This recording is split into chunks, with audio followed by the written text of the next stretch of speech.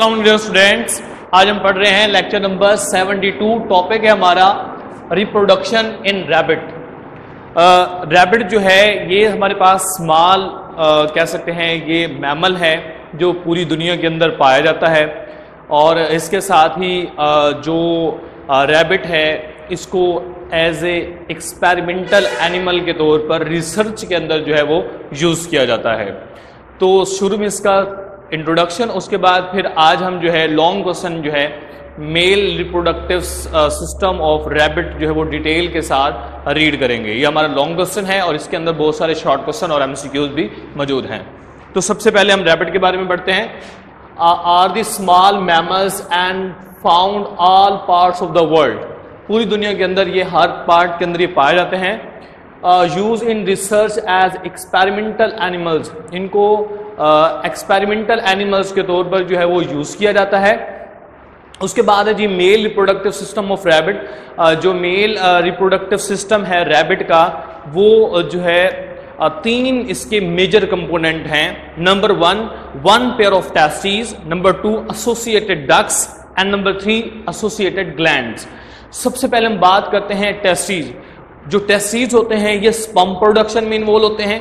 Associated ducts वो जो हैं जो ऐसी डक्स हैं जो कि स्पम को टेस्टीज में बनने के बाद एक्सटर्नल जेनिटेलिया के अंदर ट्रांसफ़र करते हैं और तीसरा है एसोसिएटेड ग्लैंड, जो डिफरेंट तरह की सिक्रीशन प्रोवाइड करते हैं, जो कि प्रोटेक्शन, न्यूट्रिएंट्स और लुब्रिकेशन प्रोवाइड करते हैं स्पम्स को when they move in the associated ducts तो सबसे पहले हम बात करते हैं class one pair of testes यानी कि कंपोनेंट कौन से हैं? द प्रोड्यूस स्पम्स यानी कि टेस्टीज जो है, वो स्पम प्रोडक्शन में इन्वॉल्व हैं और वो दो हैं तादाद में।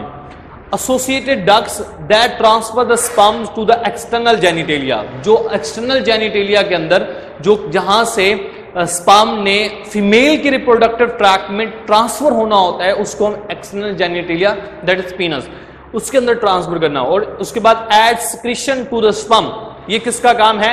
ग्लैंड्स का these are the three components of the male reproductive system of the rabbit उसके बाद क्लास नेक्स्ट हमारे पास पॉइंट एमसीक्यू और शॉर्ट क्वेश्चन है स्क्रोटम स्क्रोटम बहुत ही इंपॉर्टेंट चार्ट और एमसीक्यू जो है वो ये याद रखना है आपने।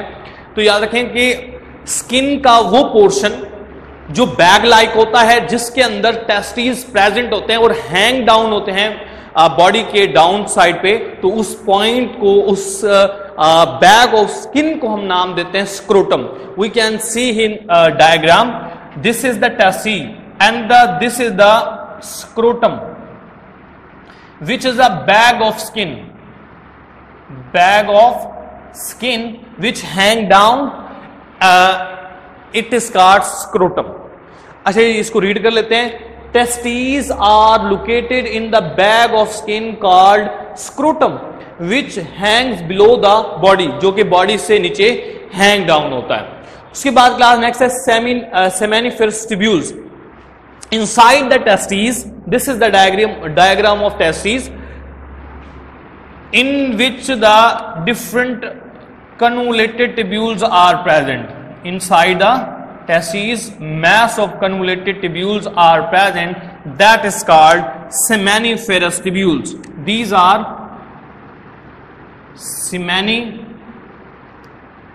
seminiferous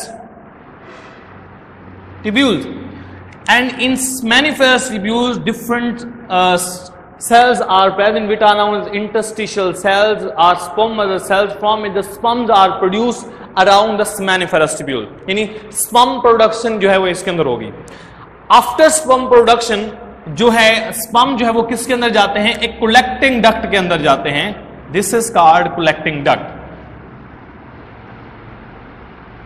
collecting duct is the portion of this testis in which the after formation of sperm are stored sperm को बनाने के बाद टेस्टीज के जिस पोर्शन में स्पम को कलेक्ट किया जाता है, उसको कहते हैं कलेक्टिंग डक्ट क्लियर इसको रीड कर लेते हैं जी. मैनिफेरस each test is consists of a mass of coiled tubules cars many tubules. यानी कि जो हमारे पास टेसिस हैं, उनके अंदर जो है कन्वोलेटेड ट्यूब्यूल का जो मैस है, उसको हम नाम देते हैं seminiferous tubule in this tubule sperms are produce और इन ट्यूब्यूल्स के अंदर क्या प्रोड्यूस होते हैं? स्पम्स प्रोड्यूस होते हैं. And then sperms move to a portion which is called collecting that in which the temporary sperms are store in the testes When the sperms are mature, they are accumulate in the collecting duct of the testes.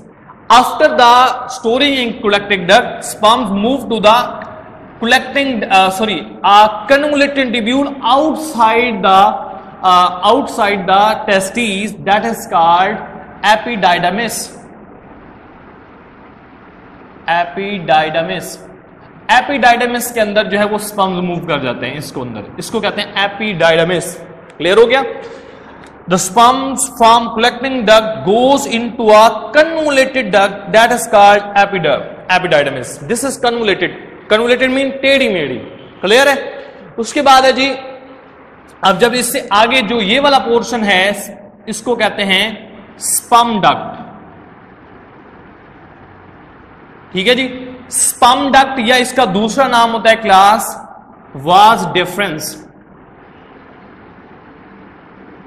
vas deferens या sperm duct it transfer sperms to the urethra ये urethra के अंदर sperms और जो ये vas deferens होता है ये this is urinary bladder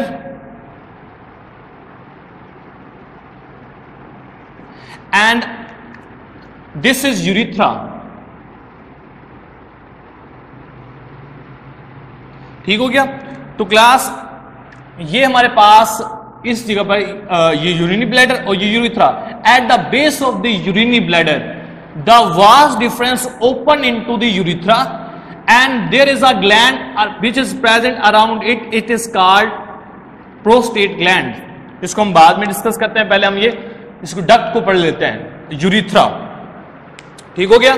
तो इस ग्लैंड का नाम याद रखें. प्रोस्टेट ग्लैंड उसके बाद क्लास अब जो स्पम इसके अंदर आ गए स्पम्स फिर कहाँ जाते हैं?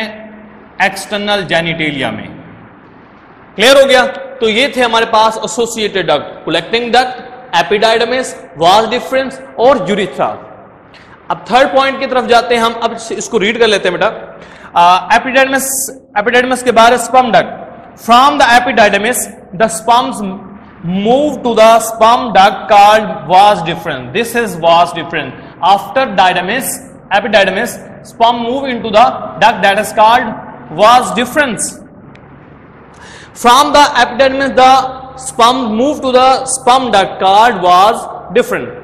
Next है जी बोथ स्पर्म डक्ट यानी जो हमारे पास ये स्पर्म डक्ट है and urethra joins at the base of urinary bladder ये यूरिनी ब्लैडर की बेस पे दोनों एक दूसरे के साथ कनेक्ट हो जाते हैं। और जो यूरिथ्रा जो है, ये ट्रांसपोर्ट करता है स्पम की और ये ट्रांसपोर्ट करता है यूरिन की।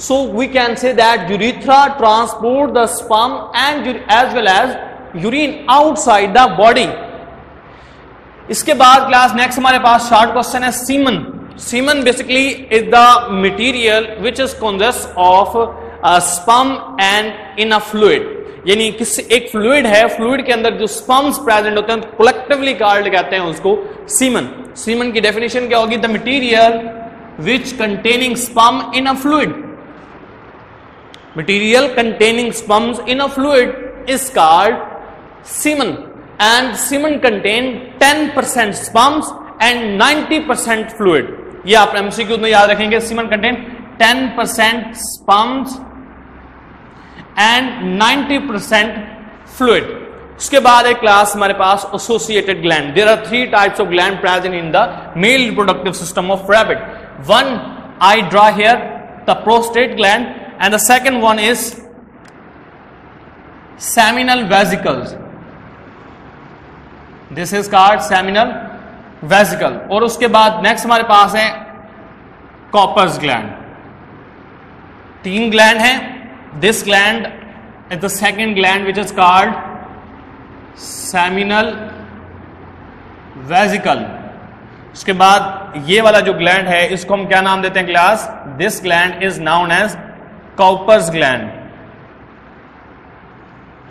Cowper's gland अब हम इसको डील कर लेते हैं what is seminal vesicle and what is prostate and what is तो first of all we deal with prostate gland what is prostate gland prostate gland वो है जब स्पाम एंटर होते हैं यूरिथ्रा के अंदर at the base of urinary bladder it release its secretion which neutralize to the acidic medium of the fluid neutralize the acidity of the fluid it is called it is known as prostate gland and the second one gland is seminal vesicle seminal vesicle is the gland which provide nutrient to the fluid nutrients to the sperm and the semen और third हमारे पास है जी Cowper's gland Cowper's gland provide lubrication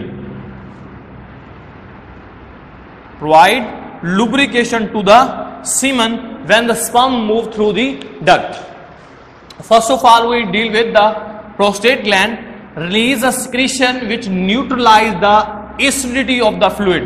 When the sperm enter into the urethra at the base of urinary bladder, uh, prostate gland release secretion which neutralize the acidity of the material.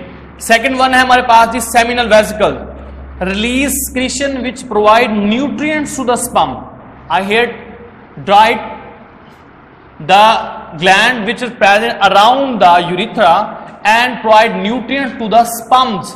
Sperms को nutrients provide करता है that is seminal vesicle. And last and third is the Cowper's gland.